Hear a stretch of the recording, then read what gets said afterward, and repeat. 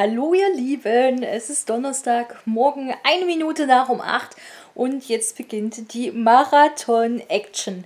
Ja, ich bin schon super aufgeregt, weil 8 Stunden reine Zeit, Lesezeit am Tag. Ich bin mir noch nicht sicher, ob ich das schaffe, aber deswegen lege ich jetzt auch gleich los. Äh, ich wollte euch jetzt aber noch schnell sagen, damit es dann nachher bei dem Fortschritt ein bisschen mehr Spaß macht, was heute auf jeden Fall ansteht. Und äh, zwar als Prioritätslistenmäßig äh, Erebos. Und äh, da habe ich gestern noch ein bisschen was aufgeholt. Ich habe aber nicht ganz äh, den letzten Leseabschnitt gelesen. Also ich hing ja hinterher und ich bin jetzt auf Seite 250 und äh, möchte heute lesen sozusagen das bisschen nachholen und den Leseabschnitt von heute bis Seite 323 sind also 73 Seiten. Die stehen heute auf jeden Fall an. Und dann war ich ganz erschrocken. Äh, ich bin gerade nicht so aktiv in meiner 12-Leserunde, wie doll ich tatsächlich hinterherhänge. Ich habe nämlich gestern, ich glaube, 70 Seiten gelesen, ein bisschen über 70 Seiten und hatte dann hier so einen Leseabschnitt erreicht, äh, Kapitel 37, Seite 476 und dachte mir, ja, du bist jetzt on track oder so.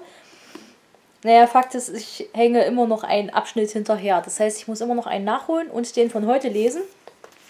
Das heißt, ich habe mir ein schlaues Zettelchen gemacht. Ich muss bis Seite 573 lesen. Das wären also 97 Seiten, die heute anstehen. Das muss ich lesen, also zwei Abschnitte. Ansonsten, die Hälfte haben wir geschafft. Na? Sieht gar nicht so verkehrt aus. So, sind also 170 Seiten, die anstehen. Und dann möchte ich äh, mein erstes Rezensionsexemplar lesen für diesen Marathon, nämlich A Silent Voice. Ja, das geht, denke ich mal, recht schnell. Aber erstmal werde ich mit den anderen zwei Büchern anfangen. Und dann werde ich das, denke ich mal, ähm, noch hinterher schieben. Und äh, das ist sozusagen das, worum es jetzt, ich sag mal, die ersten vier Stunden gehen soll. Wobei ich mir nicht sicher bin, das sind ja vier Stunden reine Lesezeit. In vier Stunden reiner Lesezeit müsste ich die 170 Seiten plus das Manga theoretisch schaffen. Außer ich lese langsam, weil ich mich ständig ablenken lasse, obwohl ich das ja nicht mit tracke, zeitmäßig. Aber ihr, ihr wisst ja, ne, wenn man konzentriert ist, arbeitet man besser. Ja, ich habe auch einen äh, Tracker, falls es irgendjemanden von euch interessiert. Ich meine, ihr seht es ja sowieso erst im ersten Update. Aber ich stoppe nicht mit meiner Stoppuhr, weil da komme ich aus Versehen immer mal auf den falschen Knopf. Ich habe hier a Time Logger, heißt das. Und dann kann man sich sozusagen... Sieht man das überhaupt? Ich sehe es nicht besonders gut, ihr aber wahrscheinlich besser. Kann man sich Kategorien raussuchen und das hier ist, glaube ich, Lesen. Wenn ich jetzt einfach drauf drücke, da fängt er an. So, und das finde ich äh, ist ein bisschen zuverlässiger als meine Stoppuhr. Ich kann es nur empfehlen, vor allem für jemanden, der, sagen wir mal, diese täglichen 15 Minuten putzen oder irgendetwas tracken möchte, äh, das mit diesem Ding zu versuchen. Macht mir sehr viel Spaß. Man kann natürlich auch, äh, was kann man hier noch machen? Haushalt, Sport, Internet, ne, wenn man mal wissen möchte, wie lange prokrastiniert man eigentlich. Ja, aber zum Lesen ist es ganz nett. Und da will ich jetzt auch gleich starten und wir sehen uns, denke ich mal, heute Nachmittag. Tschüss! Hallo ihr Lieben, es ist mittlerweile 14.43 Uhr und ich habe die Hälfte meines Lesemarathons für heute geschafft. Ich habe nämlich 4 Stunden und 7 Minuten gelesen. Ich hätte schon eher Schluss gemacht, aber ich wollte das letzte Buch noch zu Ende lesen.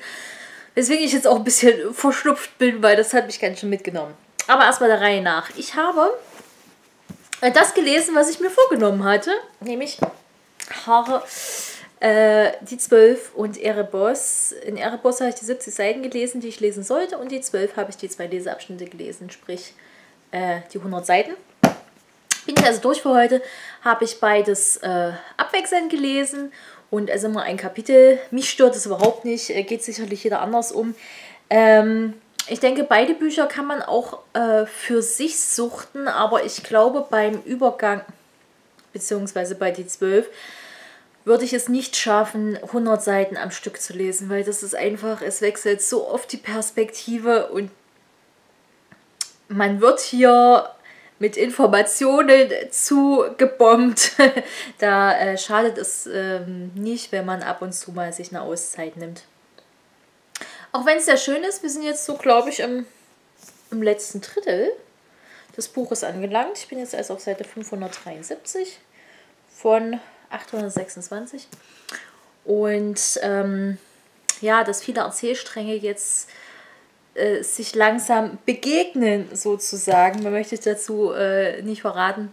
Ist sowieso schwierig, weil es ein zweiter Teil und überhaupt über die Passage-Trilogie äh, zu reden, ist grundsätzlich schwierig, weil es eben halt immer so viele Erzählstränge und auch Orte und auch Zeiten gibt, in denen die äh, Trilogie spielt dass es äh, generell schwierig ist, darüber zu reden. Äh, hat mir auf jeden Fall viel Spaß gemacht und auch bei Erebus, oh mein Gott, ich würde am liebsten weiterlesen und ich muss jetzt auch gleich, wenn ich schneide, ich mache jetzt eh erstmal eine Pause, die Tanja fragen, wie weit sie gekommen ist und äh, vielleicht darf ich ja auch noch einen Leseabschnitt dranhängen.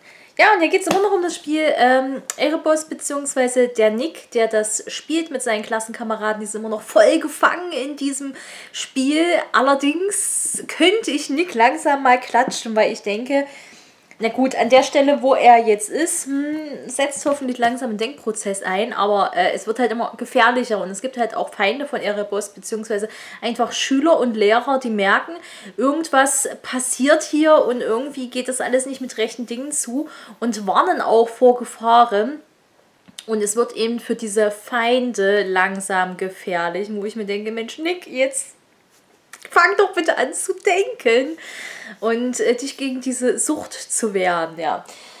Deswegen, ich hoffe, das kommt jetzt langsam, denn auch hier sind wir im letzten Drittel des Buches, wenn nicht sogar, naja, also Seite 323 von 480.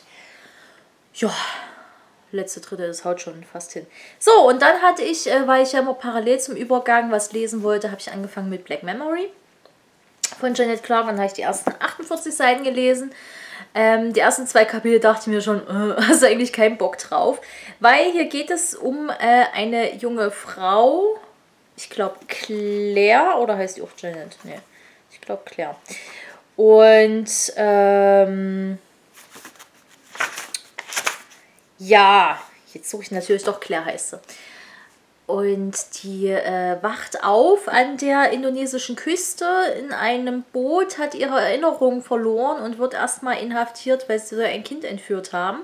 Und ähm, jetzt nach den ersten paar Kapiteln, also die ersten, die ersten 18 sind schon weg, es hat insgesamt 72 Kapitel des Buches, also sind recht kurz, deswegen habe ich immer zwei Kapitel gelesen parallel äh, zum Übergang. So die zwölf und ähm, es ist jetzt sozusagen auch schon befreit worden von deutscher Seite aus. Deutscher? Englischer? Ich glaube, aus England kommt sie. Ähm, ja, und erfährt jetzt langsam, also sie soll ein Kind entführt haben, kann sich an nichts erinnern. Sie weiß weder, wer sie ist, woher sie kommt, was passiert ist. Und sie wird jetzt schon davon in Kenntnis gesetzt, ähm, wer das Kind war und ja, befindet sich jetzt gerade bei ihrem Ehemann und auch an den kann sie sich nicht erinnern, sie kann sich an das Haus nicht erinnern, an gar nichts. Und ja, ich habe da jetzt schon erste Verdachtsmomente und äh, bin dann mal gespannt. Ich glaube, ein Indiz ist, dass man von ihrem Ring nichts sehen kann und auch kein Abdruck und so. Hm, spannend. Und dass sie sich auch in ihrem Zuhause gar nicht zu Hause fühlt. Wobei ich mir halt nicht sicher bin, wenn man sich an sein Zuhause nicht erinnern kann, passiert da unterbewusst vielleicht nicht irgendwas? Naja, äh, bin ich auf jeden Fall sehr gespannt und dieses Buch möchte ich heute eigentlich auch beenden. Wobei ich ja 170 Seiten und knapp 50 sind 220 Seiten, die ich jetzt in vier Stunden gelesen habe. Plus dieses Manga, sage ich gleich was dazu. Und hier, das hat 380 Seiten. Es warten also auch noch 330 auf mich. Könnte heute knapp werden, aber ich habe ja noch knapp vier Stunden Lesezeit, nicht wahr? So, und zum Schluss habe ich dann noch gelesen A Silent Voice und das hat mich, oh, ich war zum Schluss fertig. Also, ähm, fand ich echt gut. Und hier geht es um den jungen Shoya, und das ist eine ziemliche Knalltüte, in Klammern ein Idiot und ihm ist ständig langweilig, weswegen er mit seinen zwei besten Freunden ständig Mutproben macht. Und dann kommt das äh, ein junges Mädchen in die Schule, die äh, Schoko, glaube ich. ja, oder ich, ich habe sie zumindest Schoko genannt. Und ähm, die ist taub und ähm, hat halt immer ein Heft, wo die anderen Schüler sozusagen reinschreiben können, um mit ihr zu kommunizieren und äh, oder, oder ihr Aufgaben mitzuteilen. Und ähm, die ist an ihrer Schule vorher gemobbt worden. Und das schlägt aber recht schnell um, weil irgendwie man muss ihr halt immer alles erklären. Und dann gibt es noch einen Chorwettbewerb, das ist irgendwie die sechste Klasse. In der sechsten Klasse spielt das.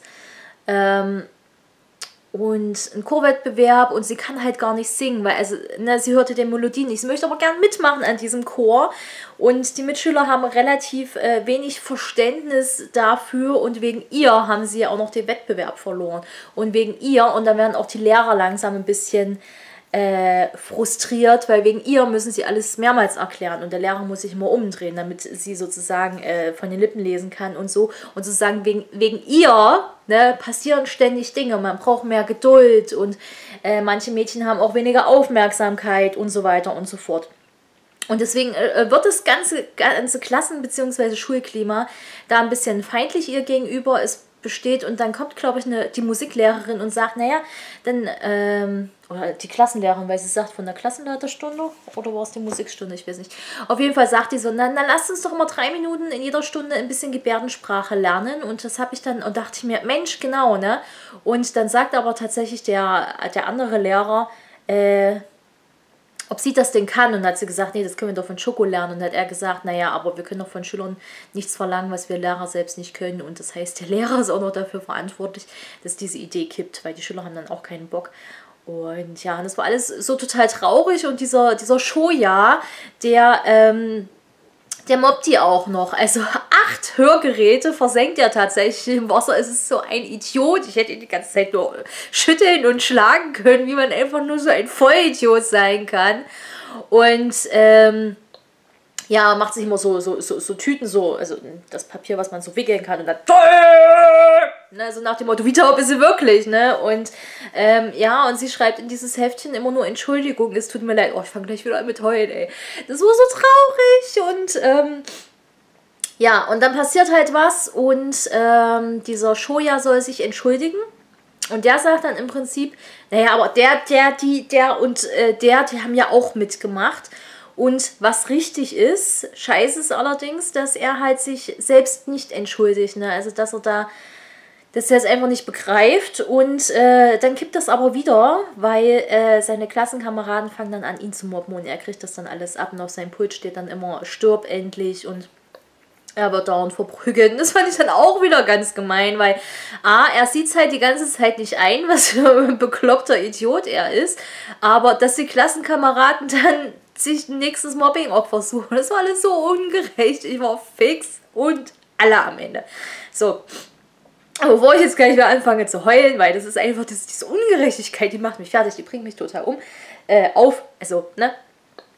Habe ich auf jeden Fall mein erstes Buch beendet. Das ist auch ein Rezensionsexemplar und ähm, ja, ich betrachte das jetzt sozusagen schon als, als Rezension, wobei ich es natürlich auch in meinem Country Reading und im Monatsrückblick dann erwähnen werde. Und war echt so, ja, und das ist der erste Teil und ich möchte dann noch unbedingt wissen, wie das jetzt weitergeht, weil, äh, ach, ich verrate nicht, was am Ende passiert. Aber ich denke mal, da, da kann schon noch was, äh, was Interessantes draus werden.